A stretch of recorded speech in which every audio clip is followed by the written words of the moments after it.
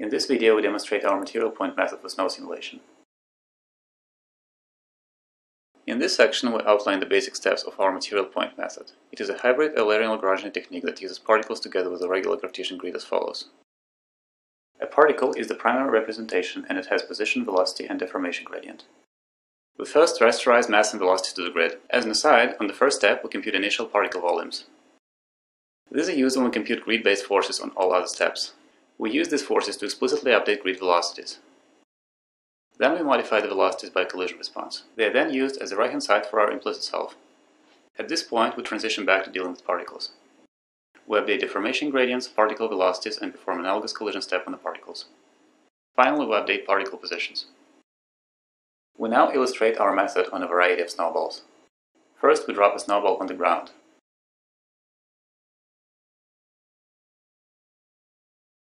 We can also smash a snowball into the wall.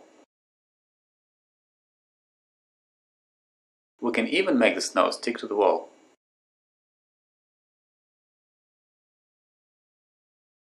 More impressively, our method can also handle snowballs hitting each other. By varying our model's parameters, we can produce different types of snow. For instance, changing the snow strength parameters, let us choose between powdery and chunky snow.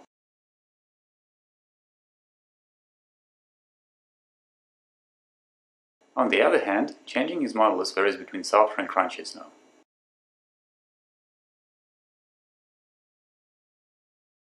Finally, changing the hardening parameter varies between brittle and ductile behaviors.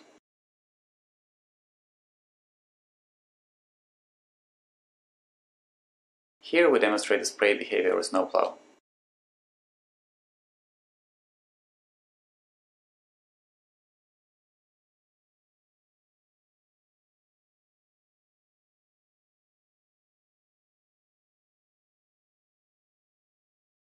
Now we destroy a castle with a cannonball.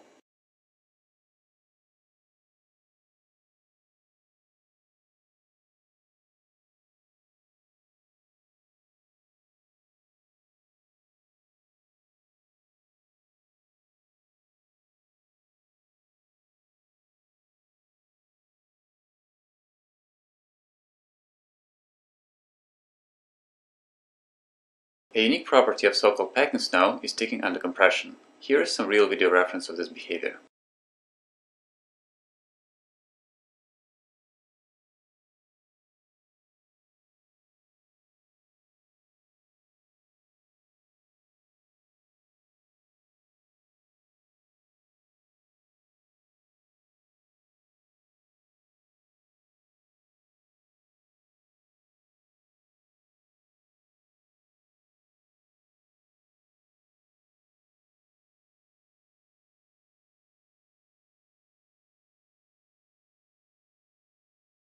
Snow can also be a powerful storytelling tool when characters interact with it.